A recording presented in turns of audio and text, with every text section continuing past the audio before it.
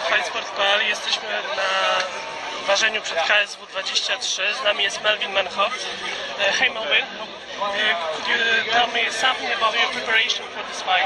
My preparation. Uh, I have a good preparation. Uh, I train hard, you know, and uh, yeah, this is what I have done, you know, for this fight. Yeah, unfortunately you lost your last fight. Yeah. Uh, in the ground was was not bad. Uh, did you focus more on, the, on this on this ground game or? Um, you know, uh, last fight was uh, was a stupid fight, you know, and I should have win the I should have win the fight, but uh, that's that. That's uh, already passed. Um, now for this fight, I have like uh, something else, and uh, we trained very hard for this fight, harder than the other fight. So uh, I think it will come good. Yeah. Uh, you feel more comfortable on, under your feet. Uh, Mamed feel better on the ground. Do you want to avoid uh, this uh, surface? No, uh, I don't want to avoid. Uh, this is what I did in my last fight. You know, I want to avoid the ground, but you know, if I'm gonna go on the ground, I'm gonna go.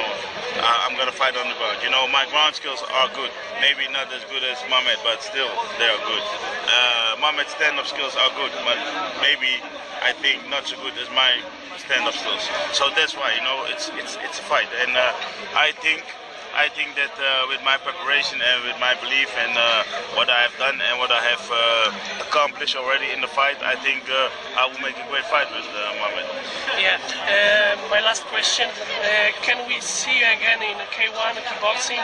Yeah, also I have gonna fight. I'm gonna fight uh, at the Legend in uh, 19 October in uh, Russia uh, with my friend uh, Ruslan Sulayev.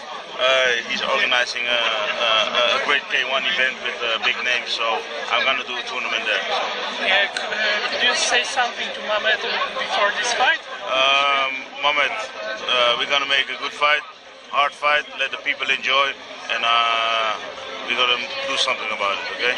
Okay. Thanks for. Thank.